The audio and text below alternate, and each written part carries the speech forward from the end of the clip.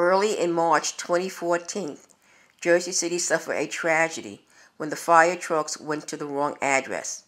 Four members of a family perished due to this similar sounding names. Mayor Fulop said we need to change similar names.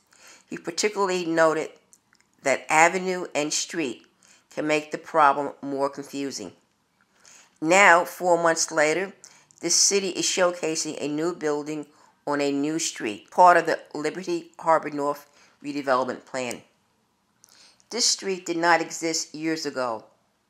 As you can see from the Google map, it is called Park Avenue.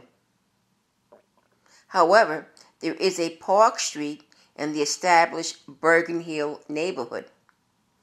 As a former councilman, the mayor knows it takes two readings of an ordinance to change the name of a street.